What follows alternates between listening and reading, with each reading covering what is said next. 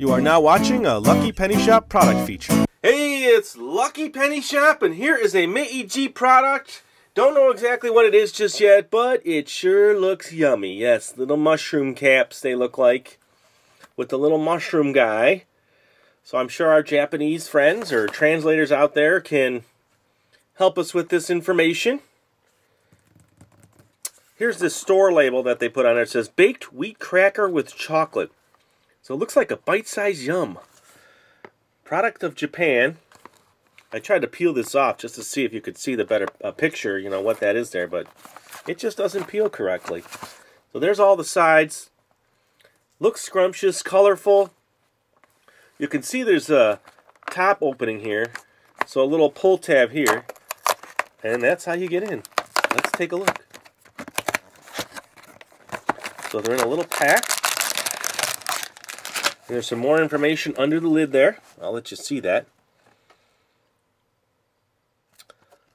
Little uh, code there for your probably your iPod, huh? Or your um cell phone there. Your iPhone, right? That's what I meant to say. Wonder what it does. Either way, there you go. And here's inside. That's a nice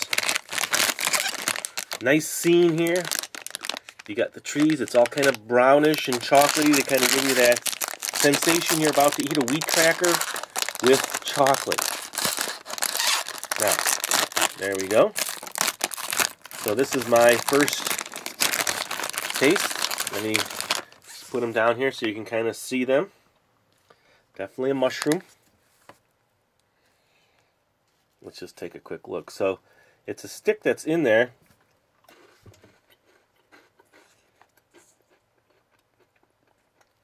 Hmm.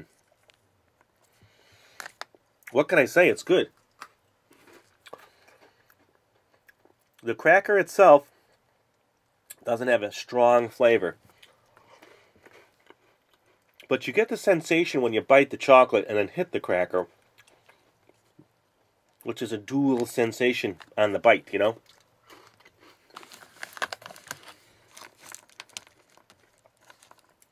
So what do you all think there? Have you had it before? Would you eat them if they were presented to you? I think they're good. I think I'm going to have three more right now. Three more. One at a time. One. Mm -mm -mm. Two. And three. So there you go. They're tasty. They're chocolatey. They got a good bite to them. Mmm. Again, Thanks for watching. It's really appreciated. You know that? We really do appreciate it. Later. This video is now over. If you want to see more Japanese candy and snacks, check the description, search the channel, or click here. And always remember, if you see a lucky penny, pick it up.